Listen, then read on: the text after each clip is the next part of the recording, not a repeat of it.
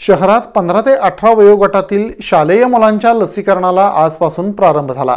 कोल्हापूर दक्षिण मतदारसंघाचे आमदार ऋतुराज पाटील यांनी विक्रमनगर येथील भाई माधवराव बागल हायस्कूल संभाजीनगर येथील चाटे हायस्कूल या ठिकाणच्या लसीकरण केंद्राला भेट दिली.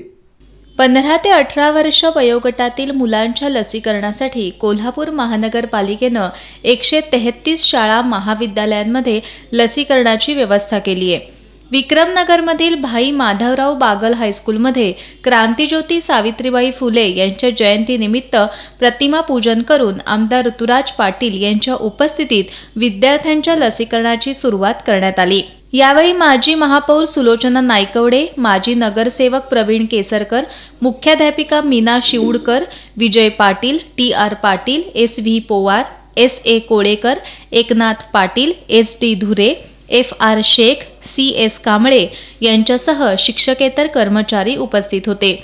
या ठिकाणी डॉक्टर रती अभिवंत यांच्या मार्गदर्शनाखाली लसीकरण करण्यात आलं.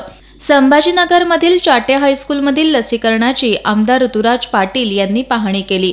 महापालिका आरोग्य विभागाच्या डॉक्टर सुशिला पावरा यांनी लसीकरणाची माहिती दिली. यावेळी सुयोग मगदुम दिग्विजय मगदुम यांच्यासह चाटे ज्युनियर कॉलेजचे श्रीधर कुलकर्णी विजय मंडलिक विजय राऊत आदी उपस्थित होते.